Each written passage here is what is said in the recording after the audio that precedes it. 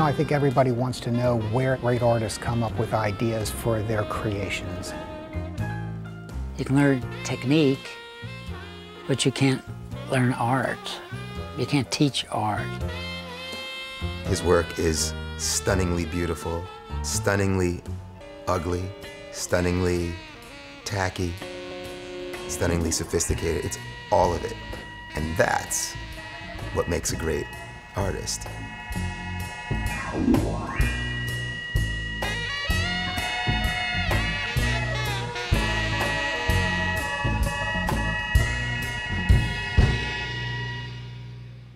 Paul Evans lived, worked, and created in Bucks County. He was also a world-class sculptor and furniture maker. And we are delighted to bring the story of Paul Evans to a greater world.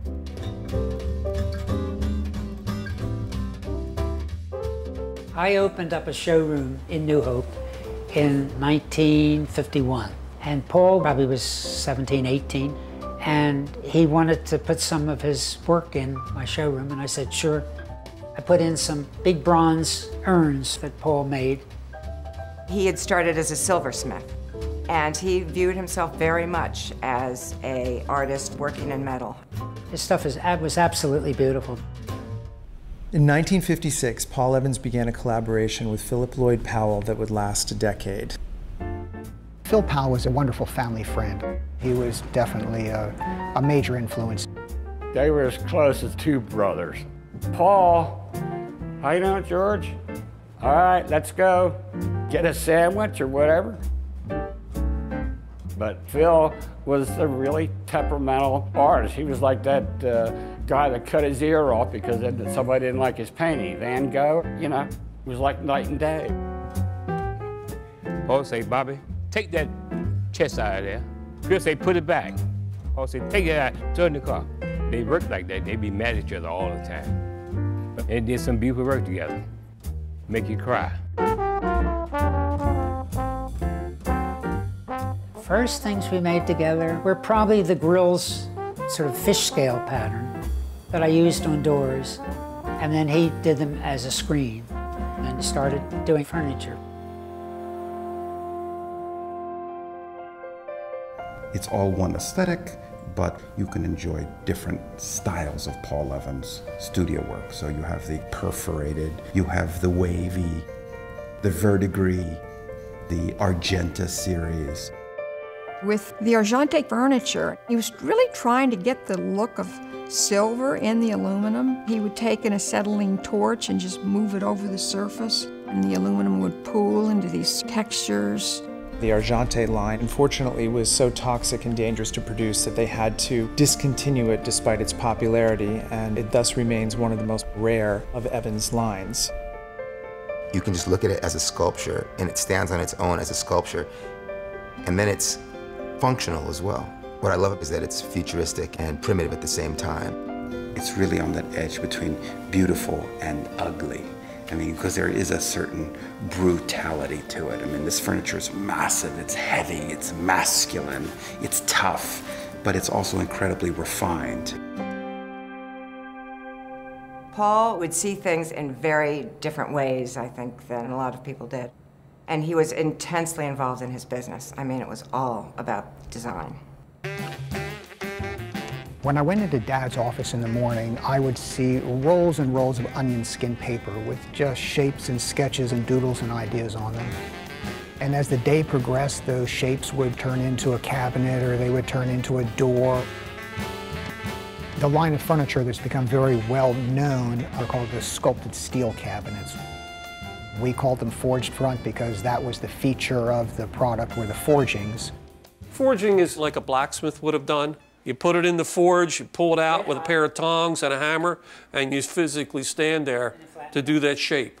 And anything you wanted. That's anything like this. Yeah, these are all forgings here. These are here, end forgings. Here. These are end forgings on rods. Dorsey ran upstairs. He was the welder. He was the main welder. Put everything together. Like a chef washing his own dishes, you know. It just doesn't make sense after a while. So Paul would team it over to Dorsey, then who pass it down to the next one until they got it done.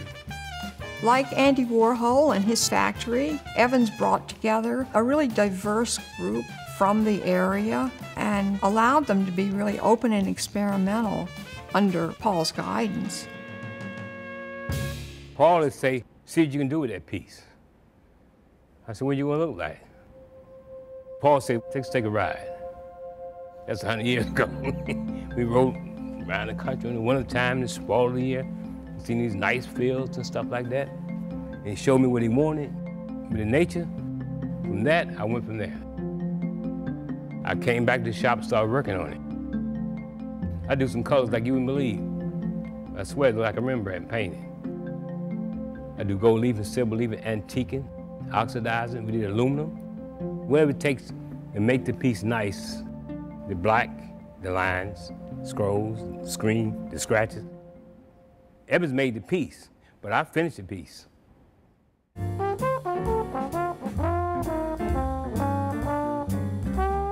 I only opened the showroom from 8 till 12 on Saturday night because the people with money coming up from Philly or down from New York to see the Bucks County Playhouse, and people would go up there and have dinner and walk down to get their car, and they'd pass our showroom. Paul had a great sense of humor. He was so charming, he could sell ice to Eskimos. Most of the time, the customer didn't have a clue what they were going to get. He sold them an idea on a piece of paper. No specifics. No. In fact, all the dimensions on my original order blank said approximate size.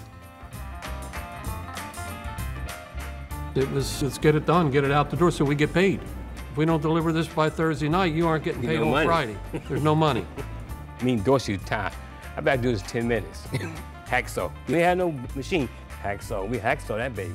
No, No- heat, no money. No heat, no bathroom, no money. And we make a lot of money, but we was happy. And I got a reputation out of it too. People still know me for that.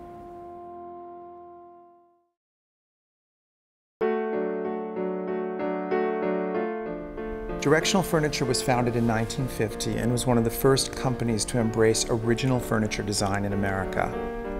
When Evan's relationship with Directional Furniture took off, Phil Powell, who was a self-proclaimed dropout, um, decided that he wanted to be an artist and he didn't want to be in big business. And so they parted ways and remained lifelong friends. We made up a set of samples for directional furniture. Back in the corner, we had the round bar. They just thought it was a whim, a disc. And then when Paul went over and opened up and showed them was a door and a full bar inside, they said, I don't care how much it costs, we have to have it. I think Directional bought almost every piece that he presented. And it just took off like hotcakes. We couldn't make it fast enough. Paul had had a huge success, and he was very much the darling of the design world at that point. The ego that developed then just got bigger and bigger. Paul would tell me, say, Bob, you know, that's not smooth enough. What do you mean, Paul? He said, it's not smooth enough. When it get perfect, then we do a plot of gold on it. But it had to be perfect. A lot of sanding. Hundreds of experiments at the Evans studio led to the most successful techniques for directional furniture. And Evans' relationship with Directional created 800 pieces between 1964 and 1982.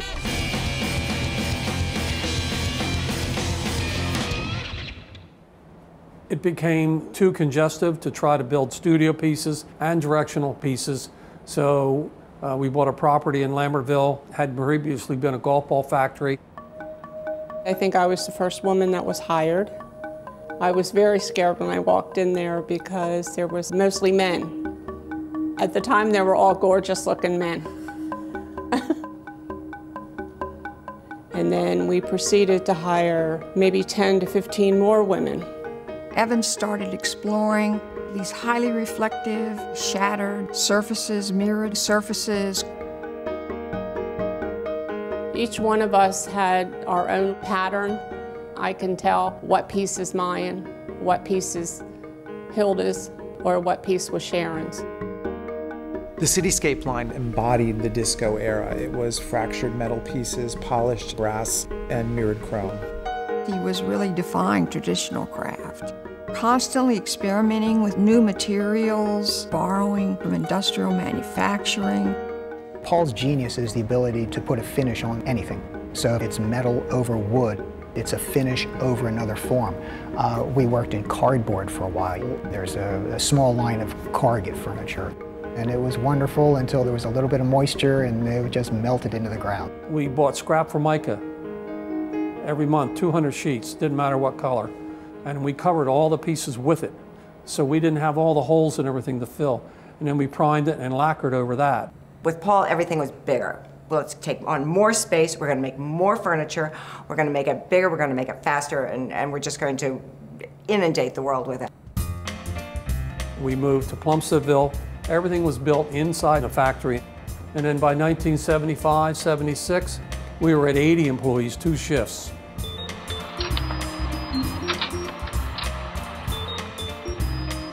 Even when the factory went to 80 people, he made a point of visiting each and every one of those employees every morning before he would start his daily business grind. He'd get his cup of coffee, he'd walk around telling jokes, he would talk to Meach, the guy who swept the floor, and he would talk to Tony Ipri, the factory foreman.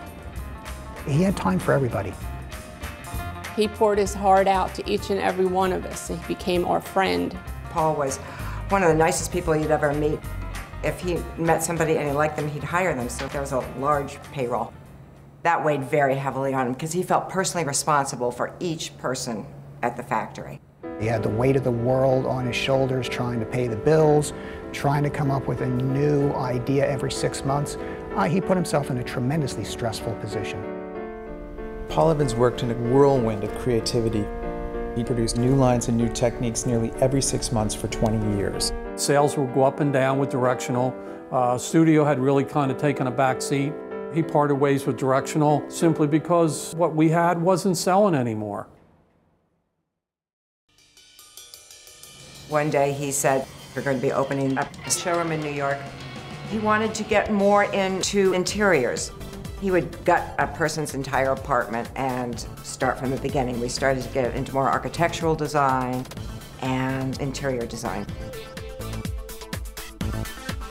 It was very contemporary, it was very sleek. In the 80s, he moves into electronic furniture.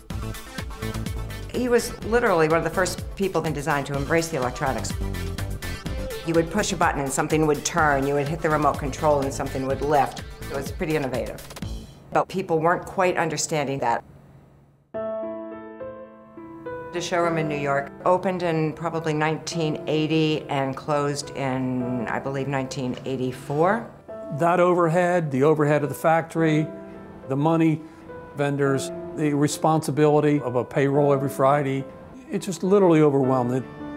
I think in the end there was too much drinking and not enough attention paid to the shop. And uh, things just kind of fell. I think that in his own soul, he was an artist. Yet, how do you afford an environment um, to pursue your artwork in? And I think that's where things got cloudy. Does the artist drive the business or does the business drive the artist? It got out of control and, and it just reached a point where we can't do this anymore. His demons towards the end became too great. He had a massive heart attack on Nantucket Island, first day after retiring in 1987. He left a legacy as the father of the modern art furniture movement. Paul Evans really showed how furniture could be expressive art. No two are identical. Everyone was different, and that's what was so unique about it.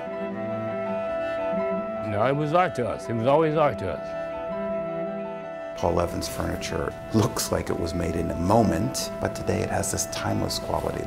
They've become American classics. Paul Evans' work, it's alive. You can feel its energy, it's living. I would equate him to Miles Davis. I would equate him to Jimi Hendrix. His work will stand the, the test of time.